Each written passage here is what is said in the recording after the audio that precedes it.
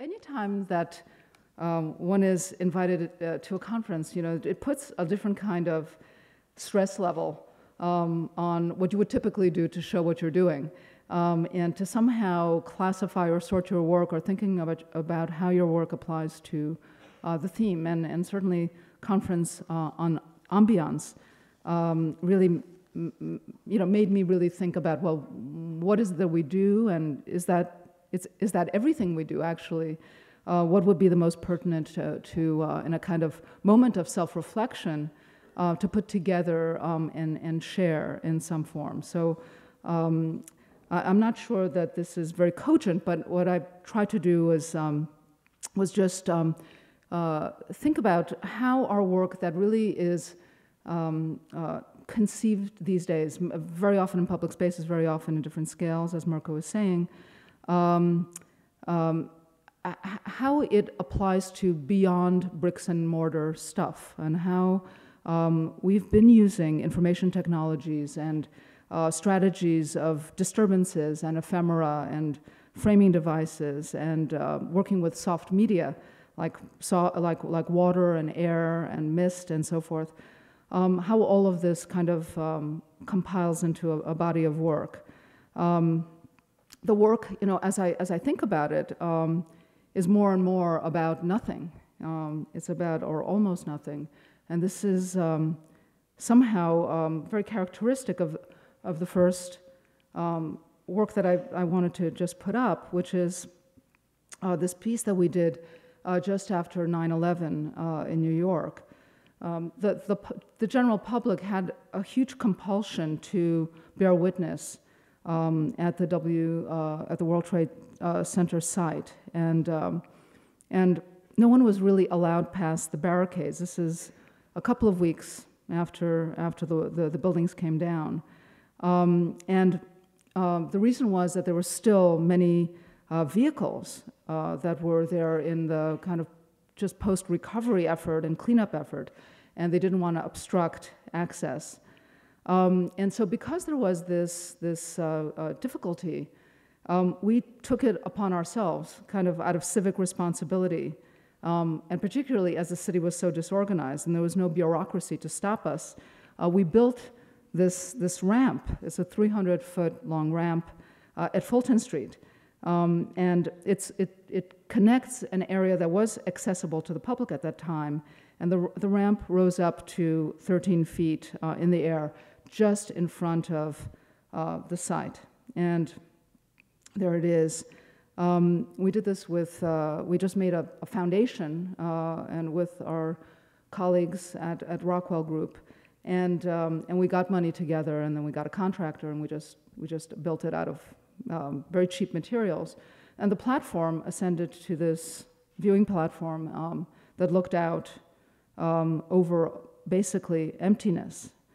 And, um, and we, we really started to, you know, we, we understood how incredibly charged. We were also obsessed with tourism and uh, uh, culture of visuality in general, and uh, and just the the, the notion of of, um, of of how potent invisibility can be, and emptiness and nothing can be. Um, switching stations entirely. Sometimes the strongest effects are ones that are barely evident. Um, like there's something wrong with this picture, what is it? Um, something maybe a bit destabilizing.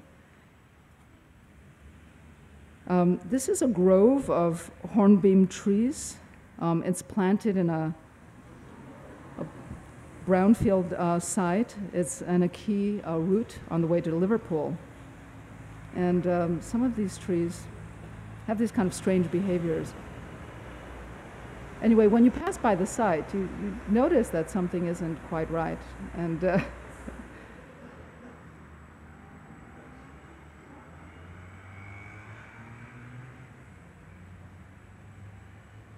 And this is, I think, very characteristic um, of, of our work that, um, that sometimes it's just uh, simply um, making something, just disturbing uh, the context is enough. I, I, I want to wait till there's a point in this um, video that's really spooky. Yeah, this one.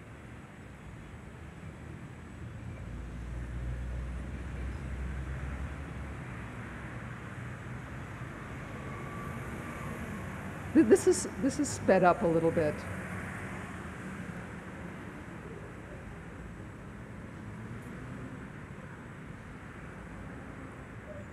Well, anyway, it was, uh, th this was meant to be a temporary installation. and Somehow they, they, now they want to keep it for, forever. And the trees really love it because they, they, get, they get sun all the way around. anyway, uh, just moving on, um, many of our projects are somehow, I don't know why, but they're made of vapor and smoke and scent. And um, the Vice Virtue uh, uh, series of, of glasses um, are also about that. Uh, so this, this is uh, something about um, uh, this kind of latent relationship to cigarettes, which is carried on into, um, into this other project. And I've never shown this. It's called No No Smoking. And um, it's a decentralized installation in, um, planned for Amsterdam. It, it, was not executed, unfortunately. Um, but um, it, so it was, the intention was to have these sites uh, all throughout um, Amsterdam. And um, smoking has, has become a symbol of the conflict between individual freedom and collective responsibility. The cigarette is a reminder that one may not necessarily have the right to be self destructive in a culture that aspires to share the cost of health insurance. Um, increasing efforts uh, to reduce smoking and, and secondhand smoke in public spaces have created a new urban outlaw, the smoker. Um, and the last refuge for the lone smoker is outside, in, outside of these new no smoking establishments. Um, and now even those spaces are threatened. So the idea was um, the installation um, uh, that would actually cast the smoker as both a villain and a victim. Um, in the system of, of private shafts of space attached to the exterior of, of buildings. Um, and they act as chimneys, basically, that lift secondhand smoke above the streets. Uh, this is uh, a detail. And um, uh, in, the in the shaft, there is a digital display um, for which we devised a, um, a smoke activated interface. So, um, so basically, this, um, this interface. Ah, so when you puff, um, it, it activates the, the sensor which um, uh, uh, connects you to a network of smokers all around the city that are all estranged at this point. Um, but this kind of obsession with this immaterial stuff, the, the, the ephemera, um, was really, I think, um, most strongly in our work um, at, at the Blur building. And I still look back on it and think, my God, you know, how did how is it possible for Switzerland, of all places on earth, to allow us to do this? Um, it's sited on um, Lake Neuchâtel, which, um, and this is a temporary structure for Swiss Expo 2002. Um, and this architectural icon was made of nothing but droplets of atomized water. Um, and also two fairly conventional architectural systems, that of structure and plumbing. Um, but it aspired to produce a pure atmosphere. Um, the structure is a, tensegrity structure, and um, the idea is that the, the lake water is pumped through this uh, uh, filtration system, and then it's shot through 35,000 fog nozzles uh, into this dynamic fog mass, which um, changes moment to moment. And these are uh, these, these uh, very small fog misters that are used, used in agriculture most of the time. Um, so the structure has a smart weather system, and um, it reads the shifting climatic conditions of temperature, humidity, wind speed, wind direction, dew point, and it processes the data in a central computer and calibrates the degree of water pressure, water pressure um, and so this was a, a, smart system. It had to really learn um, uh, how to behave um, in real time, and then it started to, uh, uh, to act on its own once it, it, it understood the parameters. Um, So entering Blur was like stepping into a medium. Oh, on the right is the, is the space inside. Um, and this, this space is, um, is or, or this medium is, is formless, it's featureless, it's depthless, scaleless, massless, surfaceless, and dimensionless. And visual and acoustic references are erased, leaving only an optical whiteout and white noise of uh, pulsing fog nozzles. Um, so Blur is an exhibition pavilion. It's an exposition pavilion where there's nothing to see and there's nothing to do. And it was um, our interest in a kind of ocular-centric culture where uh, satisfaction is, is expressed in pixels per inch um, to do something that's decidedly low def. Um, and, and in this, we really worked with a kind of um, uh, de-emphasis on an environmental scale, scale. And so while the world is put out of focus, our visual dependence is put into focus. And um, emerging out of blur was like coming out of a cloud when you're in an airplane. So the stair took you straight up. Um, and um, let's see what I have here. Underneath the angel bar, which is at the very top, there is this, this water bar, and this serves all the waters of the world. So you've breathed the architecture, now you can drink it, and it's the site as well. So architecture and site, atmosphere, um, and, um, and pleasure are, are all one and the same. Um, so waters from all over the world were collected uh, specifically for culinary uh, pleasure. And, and this was like the beginning of a, an interest in water connoisseurship, connoisseurship that, that, um, that, that kind of evolved into some further projects. Connoisseurship? Connoisseurship, sorry. Um, so this is, this is uh, just, you know, I found this on the internet. I find the best images of our work on the internet. Um, screw photographers. Um, this, this is, uh, this, but this is an example of really how it went, that the, the context and the weather and the climate and the architecture all uh, were somehow um, synthetic here. And the nighttime. So then, um, this was meant to be a temporary structure, and at one point, um, after the expo closed, it was dynamited, um, and it just kind of went up into a black cloud. And, um, and that was it. And then uh, the divers went in, collected all the steel, and sold it to China for uh, tall buildings.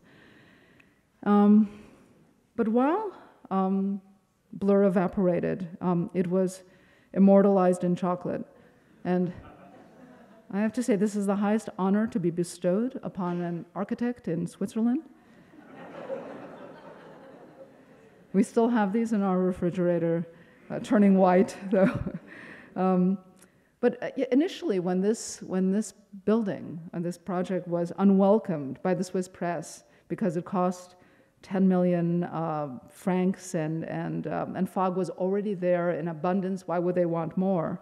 Uh, Blur became an icon um, for Switzerland, and it, it was on everything. It was on every piece of literature, um, on every product, and it came to represent the Swiss doubt which is really interesting because you make something that is um, that's very abstract, that is really made of the material that's there, and it's read in so many different ways. It was read religiously, it was read in a surreal way, and it was read somehow to to um, express the politics of the time of Switzerland being in the middle. Um, anyway, this kind of interest in um, this kind of soft media of water and mist and so forth, um, was extended to this project in uh, Kemi in Finland. And uh, this was just after um, the Swiss Expo. And um, uh, again, the, the water connoisseurship, connoisseurship, why can't I pronounce into a French audience also? Oh my God. I already apologize that I haven't slept, so that's, that's part of it. Anyway, this, we were invited to Kemi uh, for something called the Snow, sh- snow Show. And, um, and we were very interested in this harbor site, um, which um, is very beautiful, but also belies the growing specter of pollution at its, at its shores and the advancing consequences of climate change. Um, the show was, was um, uh, sited across from an active paper mill um, and in the dead of winter.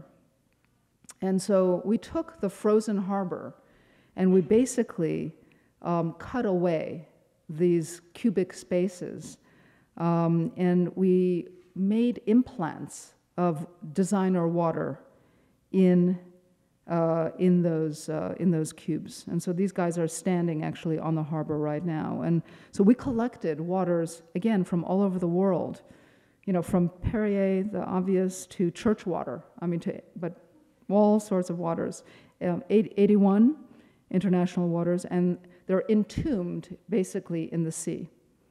Um, the logos are, um, are also, so you could see there, that's the, that's the, the plant, uh, the paper plant. And, um, and um, the technique here that we used, I, yes, here, we etched the logo uh, right into the surface of the ice. Um, and so these are all like specimen of, of designer waters. And all of this is internally illuminated also. So here it is. And at night, yeah, internally illuminated. You could walk across it. Um, um, and in the spring, the idea is that, um, uh, that when the water thaws, um, all these waters just naturally return um, to, their, to their habitat, uh, taken out of their fake habitat. Um, and anyway, so water continues to be um, kind of a point of obsession. In, um, for the 2008 Venice Biennale, we set out to convert Venice's um, often photogenic, not very uh, much here, but photogenic, uh, but notoriously filthy canal water um, into the best espresso in, in Italy. Um, that was the strategy. And um, so the, the installation um, uh, entails a water purification, purification system uh, that basically speeds up the cleansing effects of tidal wetlands. And um, so here is the, um, the uh, image. And here we see the, the um, and a, a, transparent pipe basically is um, just, just feeds out of the canal and basically pumps water in um, and propels it through a state of the art purification system that first filters the water and distills it out of the sludge uh, and the sewage and the toxins.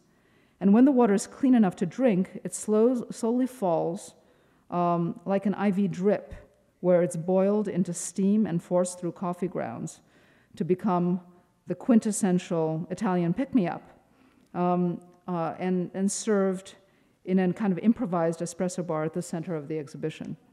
Um, so beyond normal touristic consumption, uh, visitors can also drink uh, the, the site again. So we're very much interested in drinking um, sites and architectures.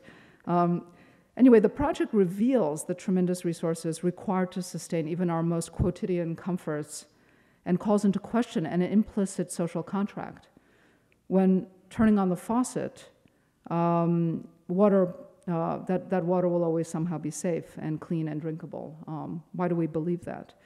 Um, anyway, after this project was fully engineered and passed through all the health uh, regulations, um, the, um, and we got all the approvals right from the top, uh, it was stopped at kind of a lower uh, uh, pass through the administration um, due to political fallout uh, caused by the premature letting of a water purification contract. So there are many um, uh, companies that were competing for, for the water, water purification in Venice, and, uh, and this was a conflict anyway. It was heartbreaking because we almost pulled it off. Um, but moving on to um, exhibitions, and you know, we have always in our work been somewhat resistant um, to museums, and I, I, remember very well when we occupied this one, um, and uh, and we worked uh, with the uh, CCA on this um, great show uh, called The American Lawn, uh, the surface of everyday life, and uh, and I remember counting all the blades of grass outside, and we, uh, we actually mowed it and, and so forth with some collaborators and, um, and installed a show that was, uh, and Alessandra Ponte is here, and she, she was a collaborator on that, on that project, on the curatorial project. Um, anyway, uh, the, the um, occupation of museums has always been a kind of question, though. Um, how do we take our work out of uh, public space and, and um, kind of public sites and into a museum and, and really understand the museum as, um, as another site, not just a repository for um, authenticated stuff. Uh, uh, you know, that's, that's already important, but, but how do we, how do we crit critically look at the museum? And we're, I guess, still part of, um, of that, that culture of, um, of cultural, uh, or the cultural critique culture that, that um, that still has a kind of um, uh, an eye um, to well, what, what does the museum mean anyway? What does the white wall mean? And we're constantly thinking about it. And, um, and this, when we were asked to do a, um, a mid-career retrospective at the Whitney Museum, this is just a, another event happening at the Whitney, but just to situate it. Um, we, we were very concerned, mid-career retrospective, that means we're almost like, are we really in the middle of our lives? Um, it was very scary. We went into a crisis. Um, but nevertheless, we were asked to bring in our installations into the museum, and there were most of our installations are site specific. So it was very difficult to imagine how to bring in um, uh, uh, these a whole myriad of, of, of, of, installations into the fourth floor of the Whitney. Um, this is the floor plan that, uh, uh, that uh, shows how we divided the space. And basically, we made um, galleries, and we used white walls to make galleries. But we also um, couldn't do this with a straight face um, without making a kind of Uber installation, um, which made all the other installations kind of like there um, as almost decoys for the other one, which had to do with, um, uh, with this robot, this robotic drill that basically, I just go back, this red dotted line is the track that this robot took in and out of every gallery um, while it performed its acts. Uh, so we worked with Honeybee Robotics, which is uh, uh, uh kind of robotics uh, science group, which made the Mars driller, and we were, um, why not? Um, this uh, device was meant to drill holes. And it's, um, so it's mounted on this track that goes in and out of every uh, gallery and basically unfolded um, the system of walls into a kind of big map. And there is a, an intelligent navigator. Okay, so that directs um, the, uh, the drill to some part of the wall that it hasn't already touched. And then, um, okay, so this is just the drill. These are, these are its brains, kind of messy. Um, and here it goes. So the intelligent na navigator selects a point along the wall, it navigates the drill to that place, and then it pierces the wall with this half inch hole. This is the sound it makes just in case there are some people in the way. The museum actually went crazy because we made dust, and so they made us actually collect the dust into uh, ultimately into a, a box. But anyway, and now it's just going off into another spot. So the holes initially begin as lone and random blemishes on the pristine white wall, but the, as the exhibition continues, the wall becomes increasingly perforated Sometimes holes on both sides of the wall uh, align, and they open up views from gallery to gallery. And um, so here is a, a, a, a, gallery where we're showing some media. It was painted black, so all of a sudden light comes through.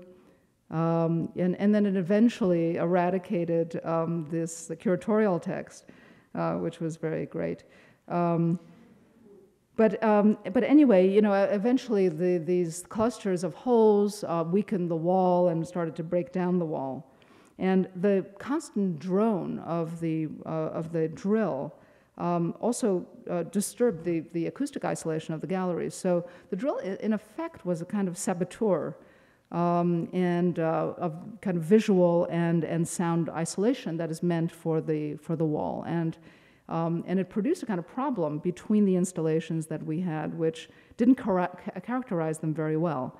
Um, but uh, the walls ultimately um, started to compete for, uh, started to, to uh, compete uh, for our attention or the attention of the audience rather than produce a, a neutral backdrop, which was the point. Um, at a certain uh, a moment in one of the galleries, the drill no longer behaved randomly. It, be, it started to behave um, in a kind of very interesting order. And this was also programmed into, um, into the, the performance of the drill. And this sort of some, sometime midway through, it looked a little bit like this. We kept coming back and discovering um, how this was doing. And um, this was part, this piece of wall um, uh, that, that you see is, um, is actually extracted from MoMA. And so we had this obsession about the white wall, and we thought, well, wouldn't it be great to graft a piece of a MoMA wall into a Whitney wall? And um, and, and you could see that, and this MoMA wall is very special MoMA wall, which I'll explain in a second, but um, it, it's a historic piece of MoMA, uh, of MoMA's walls, and it has lots of layers of thick paint on it, so you can see that it, it, it kind of proceeds off the wall, and it also changes the behavior. So this is the location of, uh, that, that piece of wall is directly behind Duchamp's standard stops. Okay, and this was this this gallery was taken over um, in the um, Taniguchi renovation um, by the the contractor, and so we were able to talk them into um, surveying the wall and uh, and being able to uh, to take it apart. So this this video may go on a little bit too long, but anyway, we um, got all of our smart people there, and then we start to plot the location. And was for, for somehow that this piece, the standard stops, was very dear to me, and Duchamp was very much an influence on, on, on the studio's work. Um, so here we are. After having cut it open, we put it on a pallet.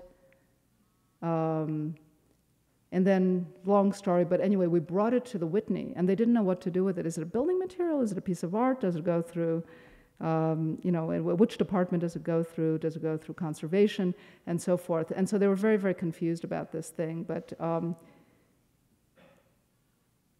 anyway, it left a kind of big, ugly, nasty space, which we covered up with another um, sheetrock wall. Anyway, so we brought this. Um, okay, so here it is, now transplanted. And um, and here, here it is on the wall. And you could see that though even the white is not the white of the Whitney. The, all museums have different whites, so there are hundreds of different whites. And this white was, Museum uh, of Modern Art white was brighter than the Whitney white. Um, anyway, um, so I, I just want to uh, go back to this, sorry, to this image. Um, after the retrospective was taken down, um, we saved this fragment um, for you know, just uh, sentimental reasons. And we cut it into pieces, like t- two foot pieces that we gave away to some of our friends and colleagues, kind of as souvenirs. Um, and it was very strange when MoMA asked to acquire uh, a piece of this wall into their collection. Um, and so here it is. You know, they, this is, uh, they're mounting a show, and they just made a hole in another wall of theirs with this small fragment of their original wall back on MoMA premises. Anyway, very strange. Um, so uh, eh, the, the drill was also salvaged. So um, it was decommissioned after the retrospective, and um, we were invited to bring it to MAXXI in Rome uh, for the opening show there. And so we recast this drill with a different kind of performance in a different kind of white wall situation. Um, and uh, we turned it into a, a, photo engraving device. So rather than drilling holes through a wall, um, it drilled holes of various depths and sizes into this very long wall uh, to produce the equivalent of a dot screen. Um, and so the piece, um, whoops, the piece was renamed, I'll just go back, the piece was renamed Drill Baby Drill. And um, um for three months, it worked on making this mural. Um, and um, uh, it's, it's of one of the um, greatest man-made environmental disasters. Uh, there's the BP oil spill in the Gulf of Mexico. And um, this is it uh, partially, uh, and this was the actual, the, actually the, the mural image, the photographic image. Um, this is the kind of intended dot screen effect. And, um, and here it is in, uh, midstream doing this. It didn't. I don't have final photographs of this because it didn't turn out so well. Uh, um, but but it, the drill continues to be somehow like on our minds um, as a kind of active element that can just be reprogrammed uh, to rethink its its purpose. Um, coming uh, back to the Whitney show, those holes, uh, we found things in those holes, and one of the things that we found was this note. Um, please make the ICA turn out good. Um, this was when we were in the middle of, of working on, on the ICA uh, in Boston. And it's, it's a little bit like the, the Wailing Wall. You know, there were like these little messages that were caught there that people left. Um, I, I, I, kind of brought this into the, into the talk just to um, say that, you know, at a certain point, one has to not resist the museum, but like sometimes even speak in the museum's voice. And here, um, as artists, um, citing ourselves in the museum very often in a contrary way, um, we accepted the commission to do our first museum building, and now we're doing like five of them. Um, there, the, the, the, the, building is on the harbor in, um, in, in Boston. And um, I won't present the building it's been widely published. Um, but one of the most important things that the building does is it, um, it, it um, uses the site also as, uh, it, it kind of curates the site um, uh, uh, among its other purposes. And um, and so here in the grandstand, it actually kind of clears space for the public to gather and just look at the view of the harbor uh, when they're not in the museum. And then there are different effects along the way inside of the building. And at the very top, and this is a very green slide, all of the, everything's very green here, so you have to like recalibrate. Everything's pinker um, in, in my world here. Um, but the, the, the space that is suspended from this very long 80 foot cantilever is the Mediatheque, and it's I think, the most important space in the entire building. And um, I'll show it in a second. On the way up the building, you go past the uh, theater, which also has the view as a, as a kind of scenographic backdrop that could be turned on and off. Um, the glass elevator scans the view vertically. Um, the gallery on top turns it off entirely. Um, so all the focus is um, on the art. And here's the Mediatheque and it isolates a piece of the view um, and, um, and just simply creates a, a, a, an environment where time just goes by and one is able to appreciate the time of day and the weather uh, just through the process of editing.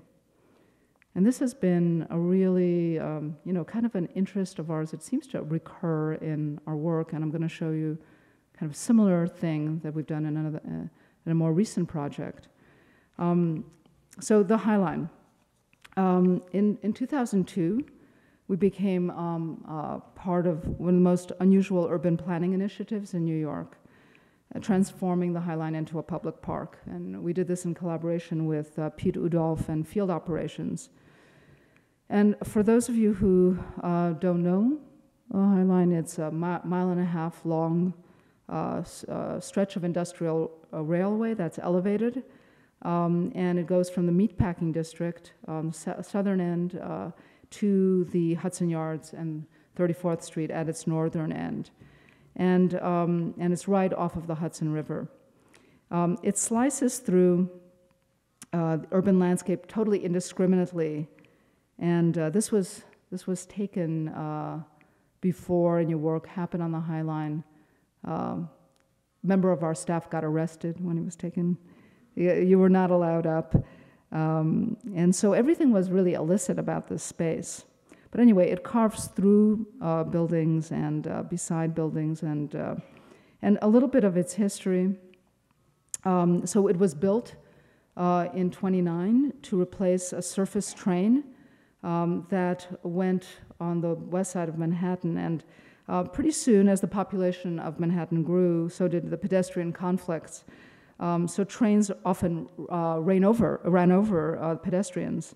And then um, uh, this, this uh, cowboy uh, then led trains through and cleared um, people away so that, that accidents would be avoided. Um, so anyway, the, the High Line then um, uh, grew and um, uh, was, was, um, was, uh, was built uh, 30 feet up in the air. And it was, um, it was active for about 50 years. and then the highway system and trucking and so forth uh, basically devalued the, the necessity for, to have this elevated train track. Um, and it just stopped uh, being useful. So in 1980, uh, delivered its last truckload of, of uh, frozen turkeys. Um, and this is in uh, Chelsea, where there's already starting to be change. Um, and the Dia Foundation moves there, and all of a sudden, uh, more, there's more and more attention in, into this site. Um, so by the 80s, uh, late 80s and early 90s, um, there um, is a lot of pressure on city government to demolish the High Line because the property owners felt that it devalued uh, the, the, uh, their property.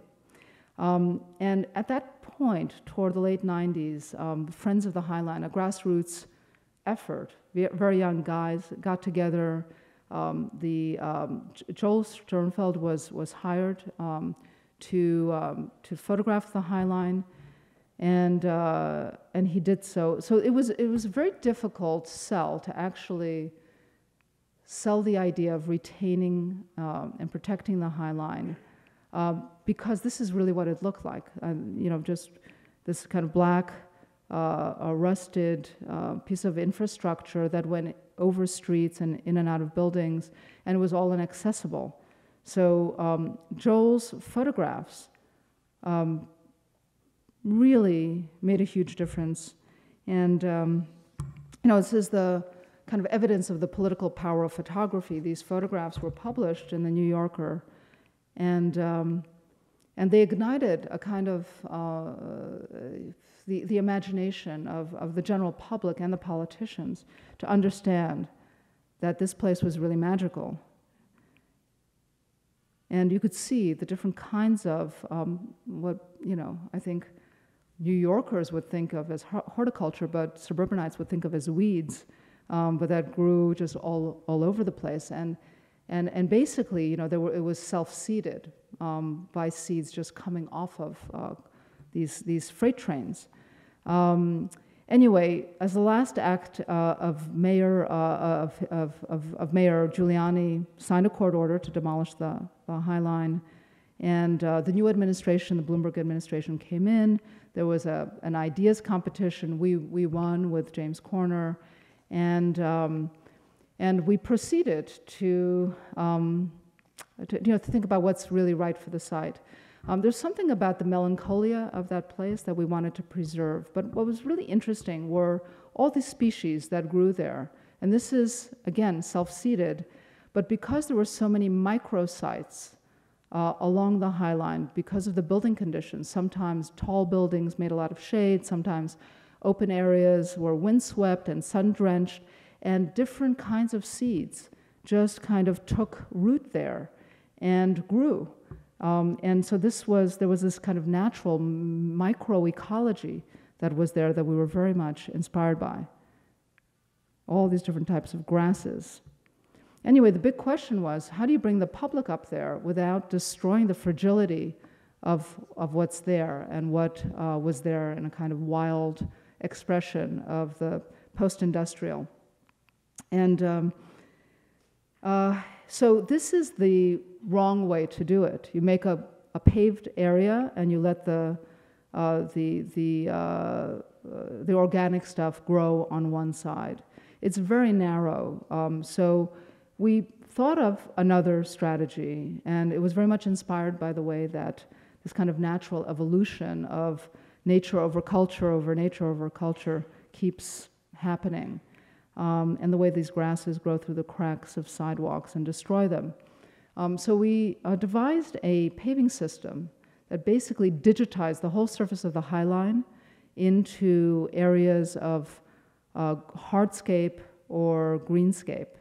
And um, they could, these, these pavings, uh, paving uh, pieces could be uh, organized in any uh, concentration. So you can get 100% uh, green area, or you can get 100% uh, softscape, hardscape, or anything in between, any gradient in between. And it's very important that these pavers also taper um, to allow the, um, the plants to grow in between. Um, and so this is a view of, of the High Line from uh, Standard Hotel. So this, this original flora, actually and fauna, starting to come back, and a lot of the original flora was, uh, was really brought back. Uh, the seeds were saved, and so um, this is two uh, now. Now uh, the two phases of the High Line. As I said today, um, it, we broke ground on section three, which is um, still actually on the drawing boards, but they're starting to remediate the site. Um, so so this question of the ecological balance, um, which has kind of tipped in another direction, I just want to show you some, some images that were taken over the last couple of years. This was uh, one of the ideas is to, to uh, repurpose industrial uh, uh remnants to post-industrial uses. Um, everything is made of the language of the planks, um, and just with li ambient lighting, uh, we're able to really produce different kinds of spaces. And uh, still parking lots, thank God, around. Um, this is some of the kind of great photos that I found on the internet. Um, this was commissioned. Anyway, so this is part of section two, which is very narrow and uh, in between um, blank walls very, very different from Section 1 if some of you have, have been there.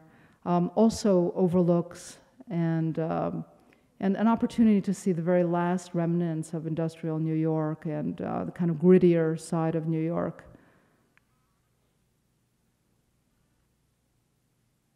So a lot of spaces where people can look at virtually nothing but blank walls.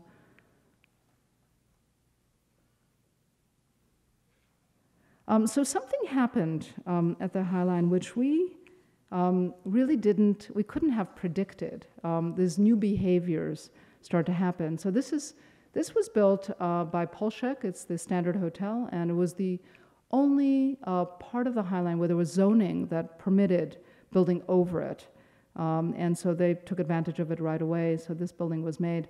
Um, but occupants of the hotel decided that, that this was like a perfect uh, captured audience uh, that was on the High Line and um, that all sorts of great performances could happen there. And so we also started to collect um, stuff from the internet. Um, and it was kind of fabulous was that it was a kind of, you know, it was a mutual understanding that people watched, people performed, uh, but it was totally uh, uh, unpredictable and. Um, and so this is like a, you know, we would think of this as, as there's something, you know, weird about the, what happened on the High Line with this natural medium, um, post-industrial, and then it sprung up again, and then there are these natural new urban behaviors. So what's, what's natural and what's not um, is, is really a question.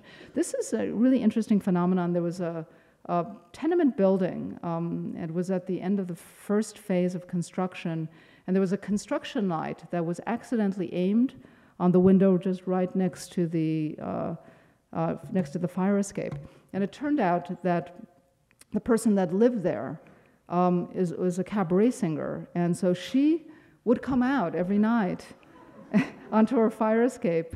And, and that, that light was just there by accident. And, um, and so she performed and she just mic'd the space, and, and a whole crowd gathered around um, the Renegade Cabaret singer. But anyway, there's a ton of things like this that, that, have, hap- that, that has happened um, on the High Line. And, um, um, and we're just, you know, it, it, it continues to surprise us what goes on. Um, one of the features that we made here was um, this is just this is the way it looked before, um, and this is a spur um, that's just on 10th Avenue over 10th Avenue, and we simply um, took away the steel structure below and the available space, and we just put some glazing there and, and made a kind of amphitheater, um, and the amphitheater was just simply uh, overlooking 10th Avenue um, and, and the cars there. And um, people gather there to watch. And um, we're, we're absolutely convinced that the success of the High Line has to do with introducing New Yorkers to the concept of doing nothing you know, I mean, you can't do anything there. You can't rollerblade. You can't ride your bike. You can't, you know, you can't bring up any wheels. You, uh, there's very little you can do. You can sit, and you can walk, and that's about it. But um, uh, you know, uh, the, the the notion of looking out at car, uh, uh just the rear lights of cars, is very much like um, it's a very uh, kind of Jerry Seinfeld idea. You know, this kind of uh, desire, this beauty of the nothingness of, of just watching things that are very slow for a moment and being excused from doing anything productive. Anyway, um, this, uh, uh the Highline effect. Um, so, what was once considered an eyesore uh, was then uh, uh, became a kind of great uh, gentrifier in that, in that area. And beyond our wildest dreams, it was argued first uh, as a catalyst for development, but no one knew uh, just how fast it would go and all the new buildings that are being built around it. Um, the High Line's cost to date has been $153 million, but has generated an estimated $2 billion in new developments in New York. And so our mission first started as architects of the High Line, um, and then it turned into protecting the High Line from architecture. So, I, you know, there are just um, so many um, uh, things that are going on there. It's, it's been branded by, by everyone and everything. There are always these activities that use the name of the High Line. This was, I found this someplace. Everything is called the High Line. The name is not, we, we can't preserve the name, right? So it's not uh, copyrightable. But it is a place where um, uh, Sex in the City was shot, all these fashion elements, the High Line bag and the dress, these are all High Line things. Um, we, we were not immune to it. We designed this dress out of um, uh, bacon and salami. Uh, this was uh, competition for this Miss Meatpacking District. Um, anyway, we just kind of got into the role of all the stuff that was happening there, and you know you've really succeeded when your um, stuff, your park, is part of an establishing shot for the family guy. Um, and then it's you know it's it's everywhere. Uh, Curb Your Enthusiasm in in uh, Daredevil comics, um, just kind of everywhere we turn, it's really kind of part of the world. Um, there was a there's a new scent now out called Highline Bond Number Nine. It's the first world. Uh, it's the world's first railroad fragrance, and it advertises itself as the scent of wildflowers, green grasses, and urban renewal. I, could, I couldn't make this up. Uh, anyway, um, there are highlines uh, springing up. It's gone viral. It's, uh, they're proliferating all over the world. And um, here are some examples uh, in the States. This one is particularly sad. But, uh, and some of these are, are um, this one is just about to open in Mexico City and Lima,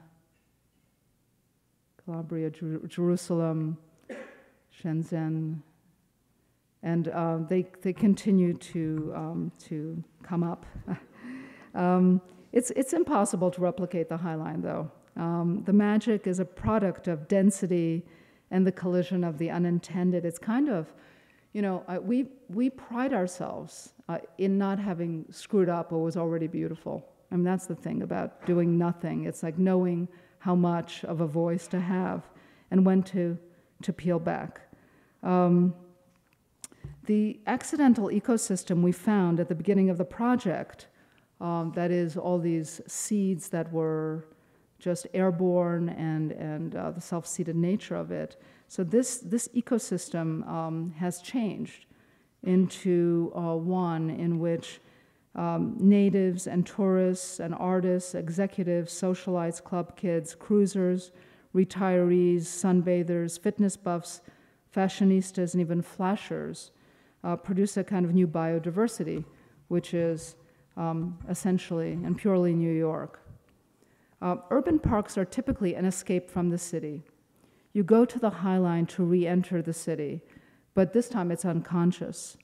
The imperfect, the overlooked, the blank party walls and innards of buildings, the loading docks and chop shops at arm's distance from cars parked up in the air and mechanical lifts, next to fire escapes and smokestacks, floating at the height of giant underwear ads. Um, and even as the, uh, as the condos go up, the High Line will always refuse to fit neatly into the logics of the city. So it's a kind of friction to the city. Um, you know, there's a kind of, um, uh, we had a kind of nostalgia initially um, for the site and this, uh, you know, this post industrial uh, uh, atmosphere of it.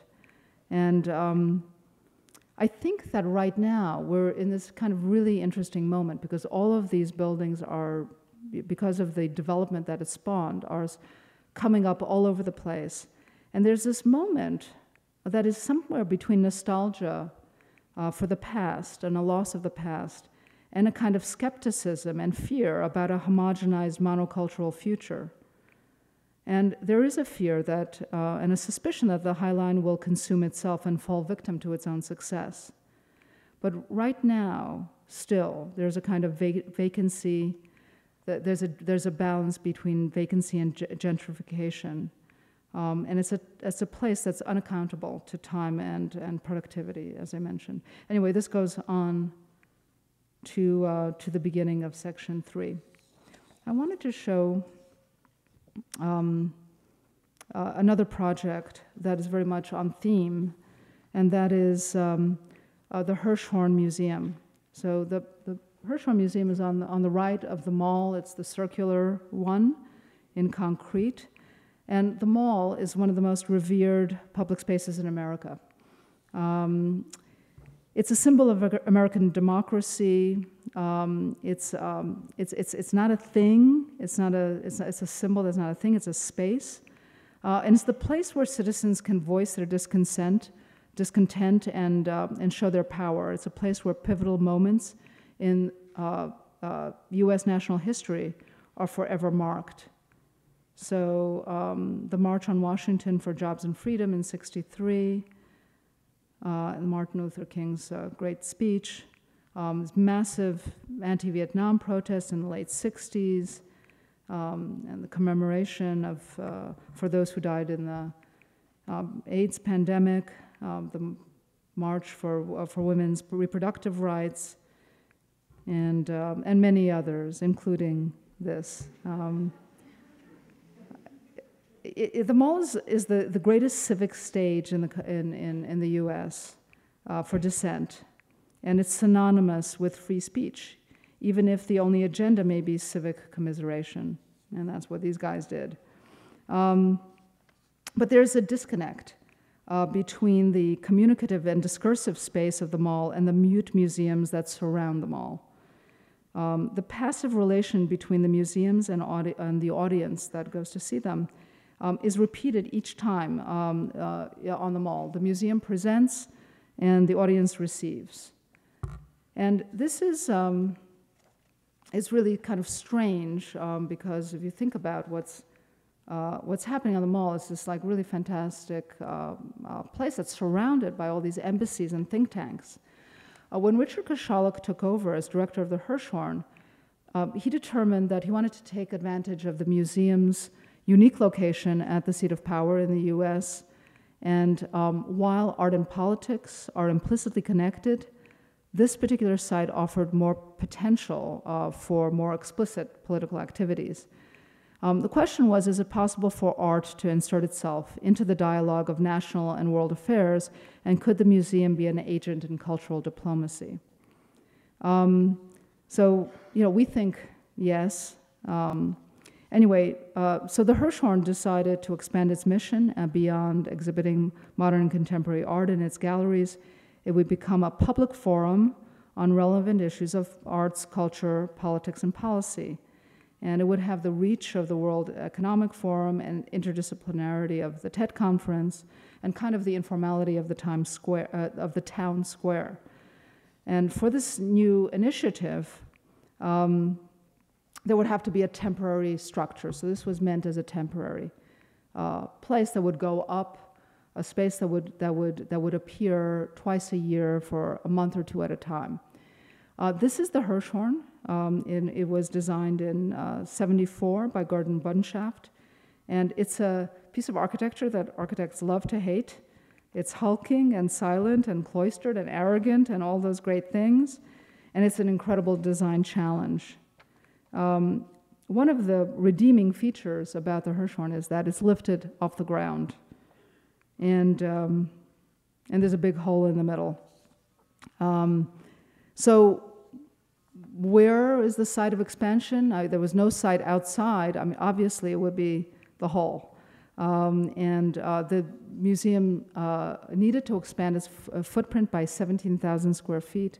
There was actually not enough in the hall, so we had to actually find more space.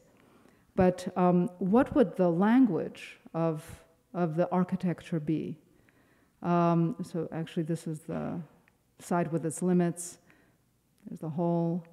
Um, the, the Hirshhorn sits among the mall's monumental institutions, and most of them are neoclassical. They're heavy, opaque, made of stone or concrete. Ada Louise Huxtable uh, called them the dinosaurs of American culture, disposed to infinity. Um, anyway, um, what should the material of the new program be? Um, we decided it had to be air. Um, and it had to be light, it had to be ephemeral, formless, and it had to be free.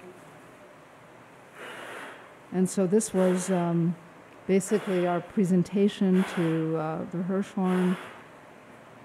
This is how you make space, basically a giant airbag.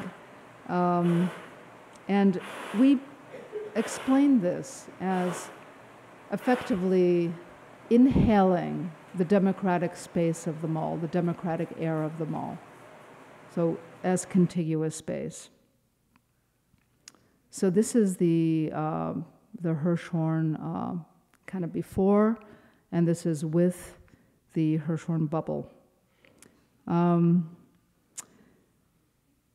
so the, as you could see, the, there's a kind of oozing of the, of the air off to the side, and this is the, the lounge, so there wasn't quite enough space. Um, but what that's, you know, incredible thing, it's a, got basically a low pressure airbag um, that is uh, made of silicon coated uh, glass fiber fabric. And, um, and, it's, and it's temporary, it's uh, twice a year. And so there are they're, they're, this is uh, considered a national monument, so touching it permanently was also forbidden. So it had to be really light to the, to the touch. Um, and it's, it's one contiguous volume of air that's kind of restrained. Uh, so when the wind blows, it doesn't move around. It's constricted by cables uh, that, that allow it just to wiggle a little bit, but not to hit the walls. Uh, the design was subject to approvals by the National Capital Planning Commission, the NCPC, which is the federal government's planning agency, um, and also the, the Commission of Fine Arts that counsels the government on matters that affect the federal interest and preserve the dignity of the nation's capital. Um, so you might be wondering, how did we ever get approval? um, so this is the view of it. Well, these are some of the activities that we imagine. Uh, take any kinds of uh, uh, installations or, or, or, congregations of people for virtually every purpose. Um, but the reason we got it accepted, um, this in the section sometimes makes me blush, um, but um, we kept iconoclasm, and um, adoration in some kind of balance.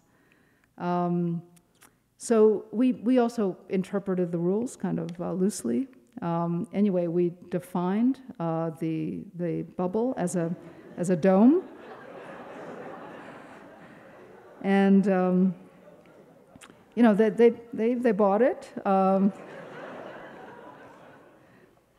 so this is the, um, this is the sequence that, um, that basically this is, uh, the bubble is rolled up and comes on a truck, and then um, it's hoisted on cables. Uh, there's, a, there's a permanent ring that's put at the very top, and it's hoisted up, and then the air is pumped into it, and then it allows it to uh, fully lift itself. And then at the very bottom, that red is actually water ballast. So um, anyway, we showed this, this uh, sequence, and uh, in one of the approval hearings, uh, we were asked, but this was approval hearings with lots of gray-haired gentlemen, uh, we were asked, um, and looking at the complexity of all of this, what was the duration of the ins installation process? Uh, we were asked. So um, um, you know, so uh, how long does it take to put up? And we responded typically, um, uh, the, it will go up very fast, but the first erection would take seven days. And like at that point, like it was, it was love at first sight. The notion of a seven-day erection, I think, with the, I mean, really, uh, it was with all these really like elderly gentlemen that they really connected to the idea. and, um, and, and we were told, it was really beautiful, the very last words, we thought that we would be stopped in the process, but they said, go away, inflate.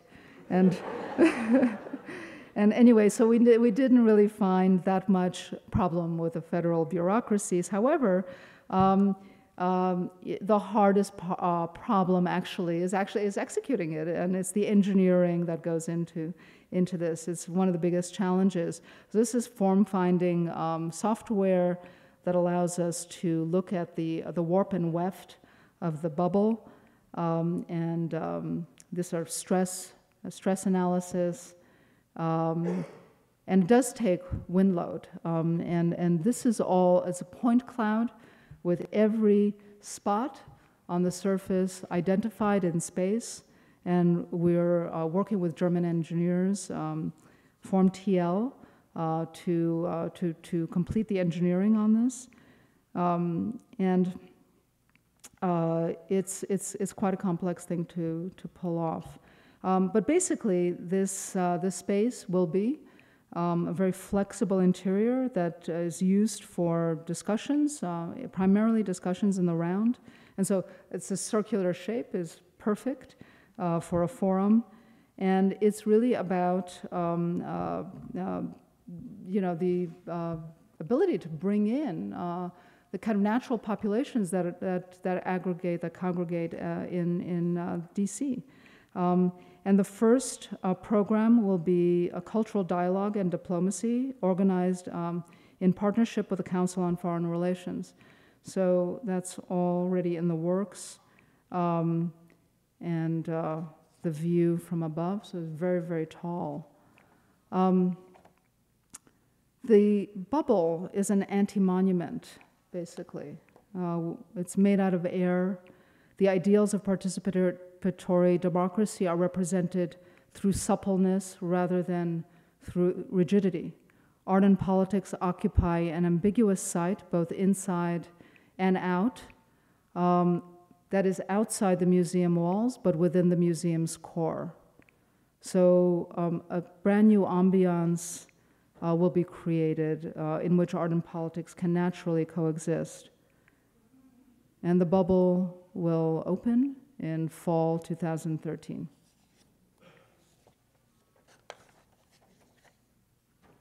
And that's it. Thank you.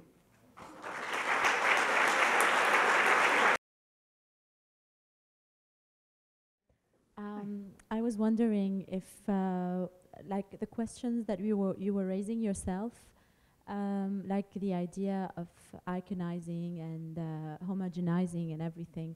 I was wondering if we're not falling in the iconization of the senses of the city. So everything that is not considered material, the air, the water, the smell, and everything else, is being iconized. Uh, Atomized. icon, an icon. Iconized. Uh-huh. Yeah. So I was wondering what you think about that. Um, I, I, I, I don't know. I mean, um, um, I, in the case of, of, of the High Line, um, I mean, I think that that is, uh, um, it's, it's, a, it's a case in point where uh, infrastructure and open air space, um, it, it, it inadvertently uh, became iconized. Um, um, and I think that it was, it's, in you know, as I say, inadvertently, you know, the, the, the, all the people around that project um, intended to simply make um, uh, a kind of open, uh, kind of free open space uh, around an existing infrastructure in another form. And, and, you know, we typically go to parks that are focal and, uh, and, and sometimes large and small but uh, to, to have a, a, a, space that one could move in and wander and, and uh, um, maybe an old fashioned way, promenade, you know, was something very, very foreign to a city like New York. So um, the moment that um, it, um, you know, it, it, it opened, um, I, it, something else happened, and I can't really um, explain the phenomenon. I often wonder myself how it's possible for and so the kind of the kind of theorizing that that there's an attraction to nothingness to um, you know in a in a in a city where every piece of real estate is so important and so expensive and it flips you know constantly and increases its value um, that uh, uh, that, that this moment, this, this kind of very, very precious um, uh, piece of space that uh, is intended really for no purpose at all, but for promenading, just became a sensation. And I think that you know the the concern that I express myself is that uh, the possibility of of uh, this very successful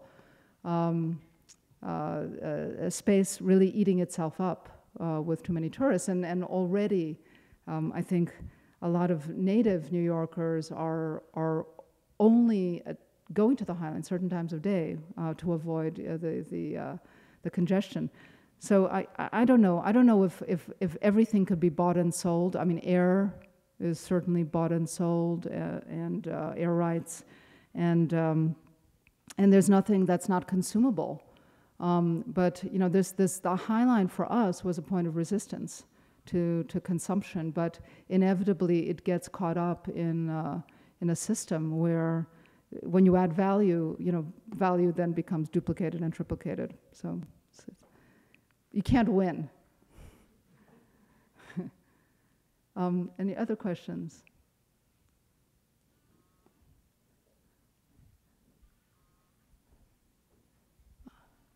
Hello. I'm, I'm wondering, um, the architecture you do is, is very, very close to science, and uh, the, the, the the role that the science play in your architecture is extremely strong. And I'm wondering how you do this collaboration.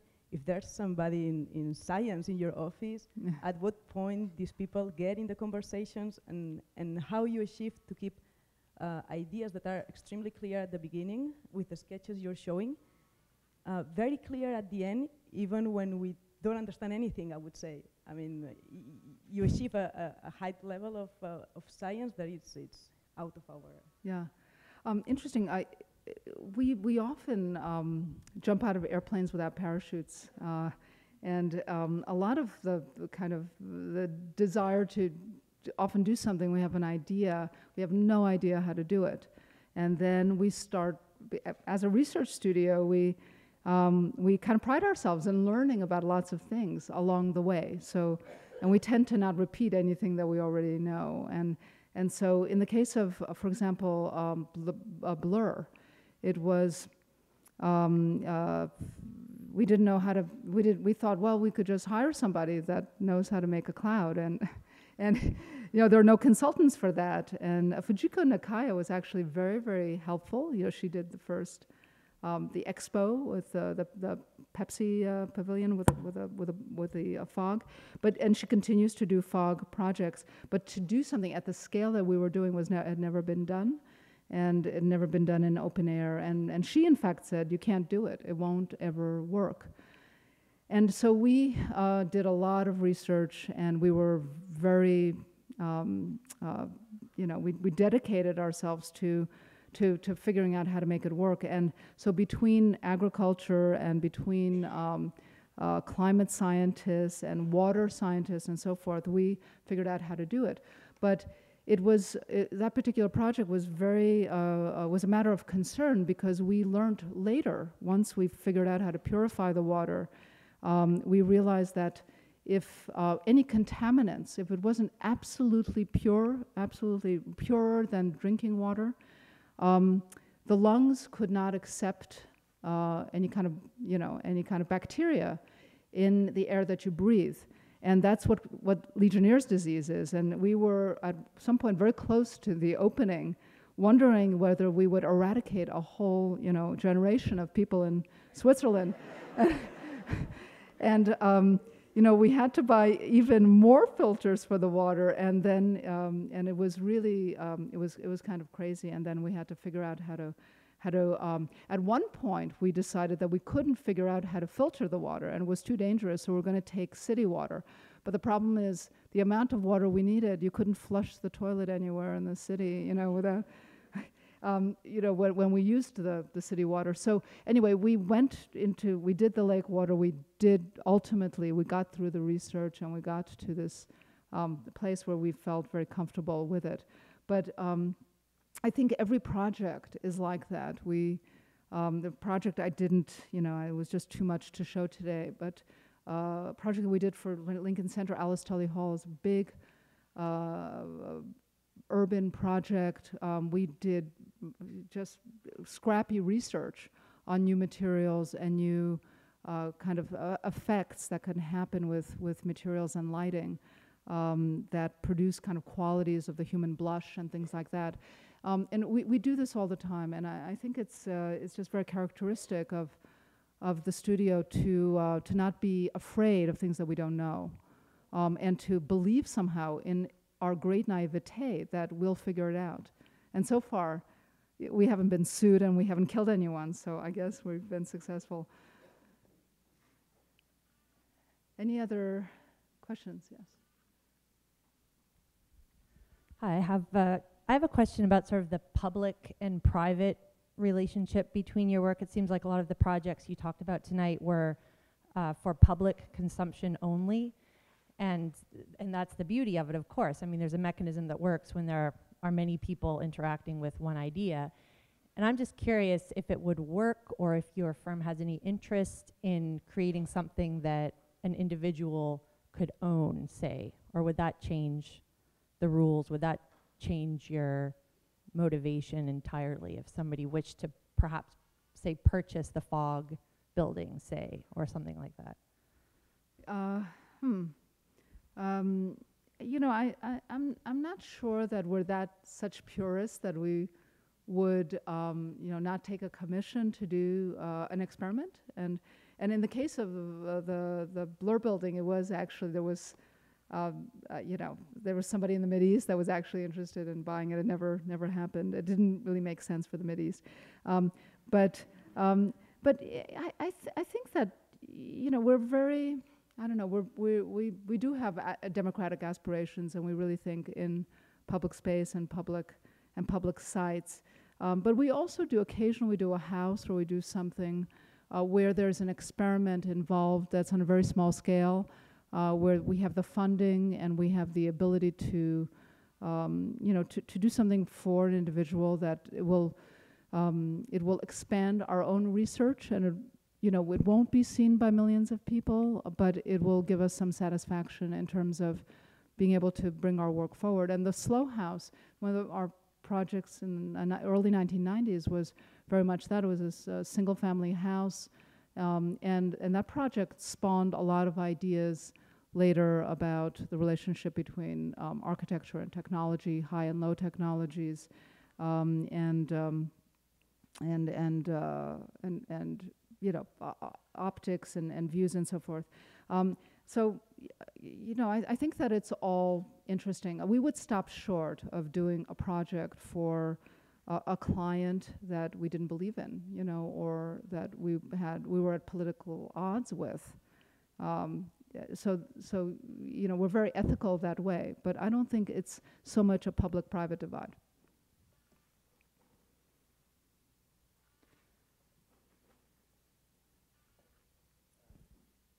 Yes.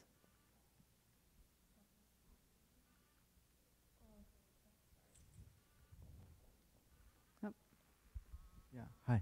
Um, talking about ethics, um, one of the uh, um, one of the hypotheses in your projects is, I think, that um, there must be some cost involved in the way you're conceiving and executing your projects. I mean, especially the the the blur thing in Switzerland. I mean, it probably needs a combination of a New Yorker with a Swiss to make it uh, for for different reasons. So the question is, um, given the fact that the more and more we're operating in an environment that is particularly critical with uh, large-scale projects, unless they are, I would say, um, an, invest an, investment for the future, as an as an experiment, say, mm -hmm. as a research. I wonder how would it be with your work if you were uh, brought in, the in a situation would be working in a frugal way. Working from? working from a frugal point of view. Frugal. Uh -huh. In a, in a frugal, I mean, that it's, how would be a project by Diller and Scofidio if it was supposed to be cheap? Mm -hmm. we do a lot of cheap projects too. um, you know, we, we live in a world where funding is very, very difficult to come by. And um, you know, I think that the the even just to finish the High Line is really it's it's very very difficult to raise the money to do a, a civic project in New York. So um, you know, even New York has so much wealth. The city, the city itself has um, seemingly has wealth to put money into a public civic project as opposed to paying the police and the and the uh, fire department and so forth and the teachers. It's it's a conflict, and um, I have to say that, that New York, we have been the beneficiaries the last uh, 12 years of, of the Bloomberg administration. Uh, and, and Bloomberg is a very, very unusual mayor uh, in that he's a, he's a billionaire, he has a foundation, and he also um, he, he earns a dollar a year, I think, in his job. So his decisions are motivated by profit. But um, there has been this great um, New York um, sustenance of the work that we've been doing. They've been very, very interested and, and helped us to raise money from uh, also private sources. And um, um, the, the question, I mean, yes, a lot of the work is, uh, is, is at a scale where, like the Lincoln Center, uh, particularly, it was the most expensive project uh, that we did. I would say High Line is much less, you know, for the area that it is. It's, it's remediation mostly and pavers, and that's an example of frugality, I think, in the end. Um, but we're, we're, you know, we're very concentrated on that, on that problem, and right now we um, have proposed a project for New York, which is, um, and, and, and New York is very interested in doing this. It's a new cultural institution that is unbranded, and it's the, um, and it takes all sorts of things from visual um, to performing arts to creative industries. Um, it, it kind, kind of a little bit uh, like a Kunsthal, but New, New York doesn't have a Kunsthal. Um, but it, so it can take many, many different things, but it has a um, unusual site of a public space where it can duplicate its footprint, it could expand its footprint.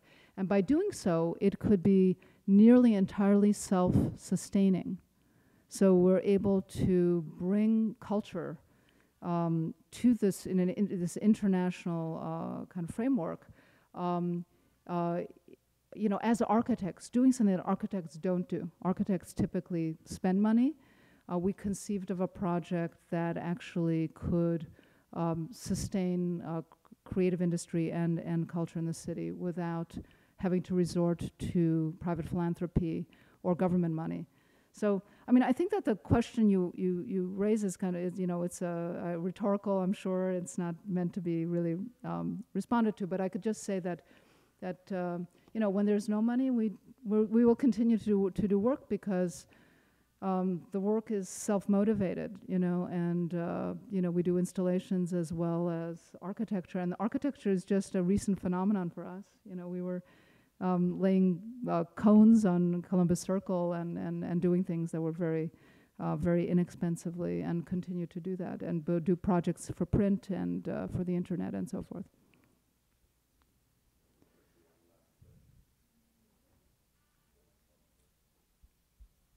Just want to say thank you for your, your presentation. It was great. Um, uh, a few years ago, also, we got to see James Corner do a lecture here as well, and it was also wonderful. And I was just wondering, um, is it okay? No? I was just wondering if you could um, speak a little bit about your relationship. I, the success of the High Line just goes to show what a close collaborative effort can produce and, and the importance of that. Can you touch a little bit on your, your working relationship with them or other landscape architects um, from the competition phase through to implementation? Yeah, that, that um, competition, uh, we went into um, together collaboratively and uh, almost without um, disciplinary divisions. Um, we just put our heads together to try to figure out how to, how to respond to this, uh, to this infrastructure um, with the given problem that I that I, I specified. That here's uh, it's so it's so narrow. How do you bring the public up without destroying this very fragile ecology that was already there? Um, anyway, we had to reproduce it. We couldn't really save it. It had to because it's toxic right now. Um, so um, so we uh, our studio and James's studio um, put our heads together and we came up with a strategy and um, the city just responded, and Friends of the High Line responded. So we were competing against four or five other firms, four other firms. Um, and each of them fell into the trap of exactly the problem of this the thinness and and um, and having to make a space for feed and a space for plants. Um, so with with James, we were able we were right on the same page right at the beginning. Um, and then the question came, well, how do you now divide up the work? Because what's landscape, what's architecture? So the way we worked was we continued to um, work together on all the components, the paving system, the benches, the lighting, the, uh, um, the Piet Oudolf was brought in to do the, the, um, uh, the horticulture. And, um, and, and we basically divided up ultimately the role of who draws up what and who's responsible for what legally, you know, and and that's kind of how it in the end it, it, it came to that. Because it's it's essentially a park, so so James did everything that had to do with the planting and the uh, the soil base and the irrigation and uh, just everything that had to do with with plants and we did that we drew up everything that had to do with the hard stuff and the access and the lighting and you know other pieces of infrastructure.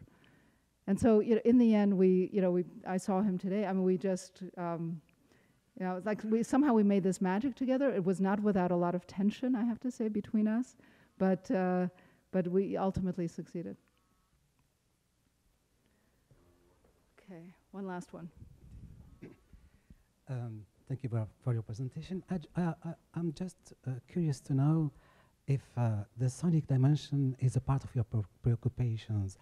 Uh, do you think of sound, of the sound that will happen, or the sound ambiences uh, in your project. For example, um, uh, the High Line was a very noisy line when, when the train was passing there. And now it's uh, perhaps a, a, very quiet space in New York. How do, So do you sorry, think of sound it, it was sometimes? about sound. right? Yes, Uh, sound in sound ambiances in your project. yeah. They happen upstream in the process of uh, of design, or during, or just in the end. This is uh, the, the Mhm, question. mhm. Uh, it's, it's a really interesting uh, question. I, we, we have, um, we've not designed sound, you know, it's something that I- interests. Uh, we, do, we do sound design for video and stuff like that, but we haven't designed sounds. And, um, and, uh, but, we, but we often think about sound in relationship to acoustics um, and very, very uh, uh, directly. Um, we we um, have done a couple of uh, spaces, you know, the, especially uh, Tully Hall, concert hall, where um, the sound um, just just the first time we ever really thought uh, about architecture and sound together. Um, it seems natural and obvious, but it wasn't so obvious to us how the shape of a space and how um, um, you know, how sound is transmitted just through space and through materials. Um, that, that particular project uh, is, is built uh, on, a, on a subway, on New York City subway, and every time an express tr- uh, uh, train passes, there's a vibration of the building which transmits sound and, and, um, and is almost inaudible, uh, pr- precisely because the, um, the, the uh, uh, the HVAC equipment, the air conditioning was so loud that it drowned out the noise of the, the hum of the subway. Uh, but, but in renovating, we had to deal with the absence of sound entirely because we isolated everything. The acoustic equipment was so, um, uh, the, the, the, um, the, the HVAC equi- equipment was so quiet that it was too quiet. And so we had to figure out how to introduce sound back into it, you know, and so it's a, the, the kind of reverb, and, and so not only sound uh, that is, uh, that's airborne and transmitted through materials, but, but um, the shape of sound itself and how uh, sound is produced on the stage and delivered um, in a kind of intimate way. So in that way, sound. But you know, I, I would say that in some of these projects, the the ambient sound, the existing sound that's already there, is is often kind of interpreted into the space. It's understood as part of the site specificity of a of a space. So in the case of the High Line, um, we did acknowledge the train, the the uh, the the sound of traffic, because you get the pulse of the traffic all the time, and it's it's it's actually very beautiful because um, it's the one place in New York that you don't have to stop for lights to cross the street. You just keep going, but you experience the grid in this kind of on-off way. So sometimes you're mid-block, and then you come into an intersection, and you hear the ambient sound of the traffic, and then you go mid-block and you don't hear it anymore. And so that the the soundscape is really super interesting. Um, so, but it's nothing that we actually made or tried to do anything with. Um, the one uh, maybe example of, of sound that is, you know, in the presentation that I could point to that that maybe, a- again, inadvertently, the the Blur building was a, w- a white noise.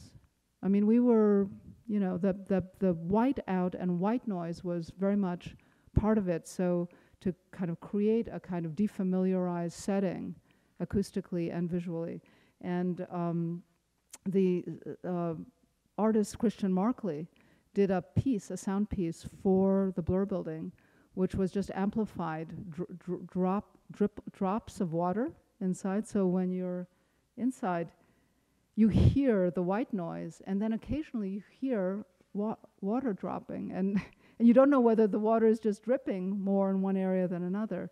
And so it's almost, you know, like it's the equivalent of invisible in uh, auditory way. Like it's there, but you have to really pay attention and almost know it's there to, to understand it and, s- and hear it. Okay, well, I hear, uh, the, uh, but, but talking about sound, the grumbling of stomachs. yeah.